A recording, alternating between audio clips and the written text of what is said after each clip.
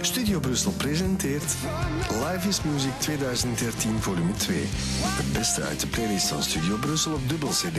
Met Uwe Phonic, Editors, The National, Pearl Jam, Churches, Daan en Stromae. De nieuwe Live is Music nu overal verkrijgbaar.